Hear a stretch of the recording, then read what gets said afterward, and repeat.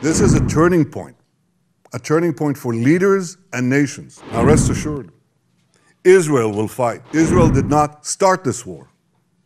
Israel did not want this war.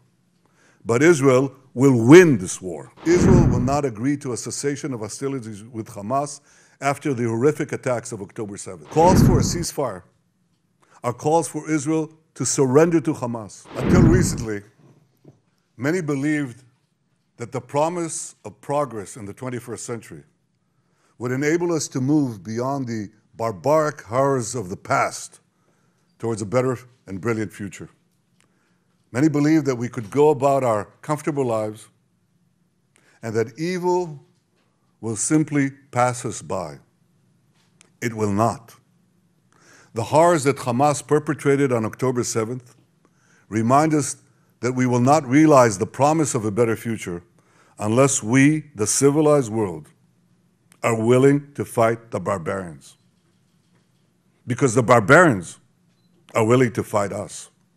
And their goal is clear shatter that promising future, destroy all that we cherish, and usher in a world of fear and darkness. Ladies and gentlemen, this is a turning point, a turning point for leaders and nations. It is time for all of us to decide if we are willing to fight for a future of hope and promise or surrender to tyranny and terror. Now, rest assured, Israel will fight. Since October 7th, Israel has been at war. Israel did not start this war. Israel did not want this war. But Israel will win this war. Knowing the difference between good and evil, between right and wrong. It means making a moral distinction between the deliberate murder of the innocent and the unintentional casualties that accompany every legitimate war, even the most just war. It means holding Hamas responsible for the double war crime it commits every day by deliberately targeting Israeli civilians while deliberately using Palestinian civilians as human shields. It means making clear that the use of human shields is not only an immoral tactic of terror, but also an ineffective one because as long as Hamas's use of Palestinian human shields result in the international community blaming Israel, Hamas will continue to use it as a tool of terror, and so will others. Hamas will continue to use the basements in Gaza's hospitals as the command posts of its vast terror tunnel network. It will continue to use mosques as fortified military positions and weapon depots. It will continue to steal fuel and humanitarian assistance from UN facilities. While Israel is doing everything to get Palestinians, civilians, out of harm's way, Hamas is doing everything to keep Palestinian civilians in harm's way.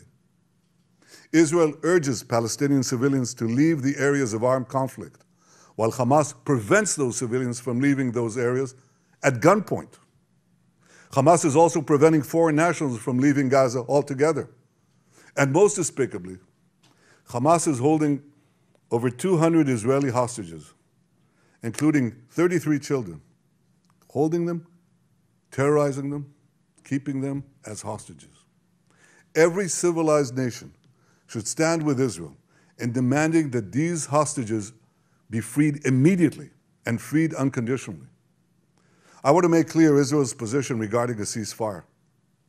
Just as the United States would not agree to a ceasefire after the bombing of Pearl Harbor or after the terrorist attack of 9 11. Israel will not agree to a cessation of hostilities with Hamas after the horrific attacks of October 7th. Calls for a ceasefire are calls for Israel to surrender to Hamas, to surrender to terrorism, to surrender to barbarism. That will not happen. Ladies and gentlemen, the Bible says that there is a time for peace and a time for war. This is a time for war, a war for our common future. Today, we draw a line between the forces of civilization and the forces of barbarism.